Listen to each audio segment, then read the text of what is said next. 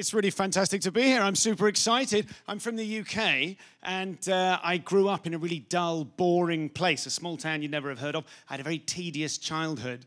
I remember one time when I was a kid. No, nothing.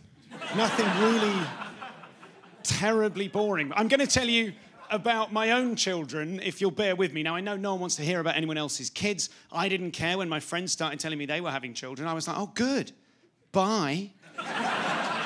They said, What do you mean we can still hang out? Sure, but we can't. You can't hang out with your friends once they have children because once your friends have children, your friends may as well be dead.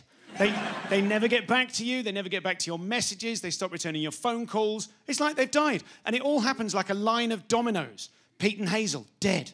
Jenny and Duncan, dead. Oh, she died on her own. That was brave. Dead, dead, dead, dead, dead. And you and your partner, you have a child, you pass through the veil together. Oh my God, we're dead. you wake in some misty, foggy hall with great clouds of diaper cream scudding by. Who are these figures emerging from the mist? Oh, it's us. It's everyone you ever knew who disappeared when they had children. We've been waiting for you. Welcome to boring heaven. Oh. Oh, that sounds good. Uh, what is there to do in boring heaven? Well, come round for a drink during the day. ah, things are looking up. What can you offer me? Would you like a chamomile tea? Have you got anything stronger? Oh, yes, yes, we can leave the bag in. Come on. All I do now, my entire life, is I get up at 6 a.m. and I stir oatmeal. That's my whole life. Get up, stir the oatmeal, keep the family alive. It's the most boring food there is, oatmeal. Shall we put honey in it? No, no, keep it boring. Stir away the memories. I mean, I love my family, but they've stolen from me even the luxury of suicide. Stir away the memories. I had a threesome once. Stir it away. Stir it away. Well, I will say we communicate with our children very well. They're very communicative uh, kids, one and four years old. And we taught them baby sign language when they were little. This is a real thing I can't recommend it enough. You teach your kids a couple of simple signs, they can communicate with you way before they can actually speak. So, my daughter, she's only one, uh, we can say to her, milk, she'll understand. Milk's on offer. Milk, uh, biscuit, breach, breach, snipers, three, on the roof, go A square. it could save your life.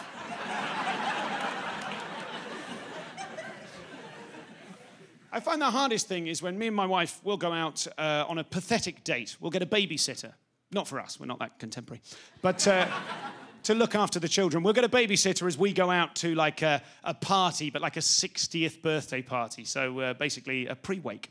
Uh, or even. Oh, I feel like maybe the room's a bit older than I'd realised. You, you're quite personally hurt by that. I'm so sorry.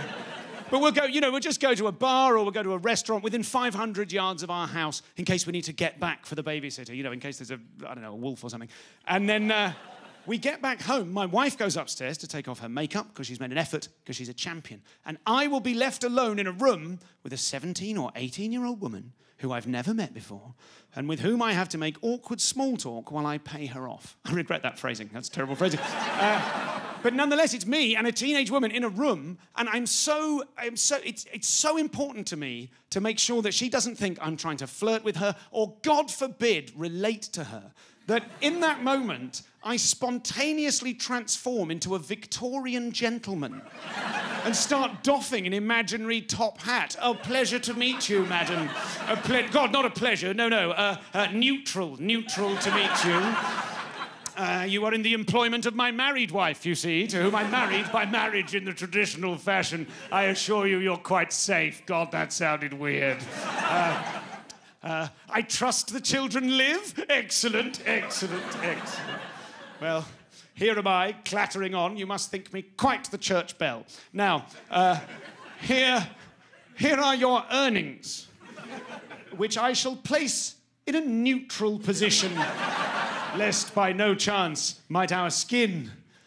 I've said too much. I shall return now to share my embarrassment with those below stairs here at Downton Abbey. although, although obviously that doesn't make any sense because I'm Victorian and Downton Abbey is post Edwardian. But you knew that.